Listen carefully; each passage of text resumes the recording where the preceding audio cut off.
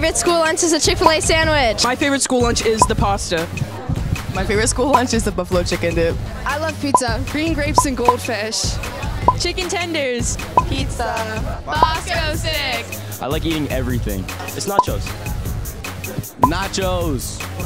Pizza all the way through, man. My favorite school lunch is probably the buffalo chicken pizza. That's always on Tuesdays and Thursdays. Korean barbecue.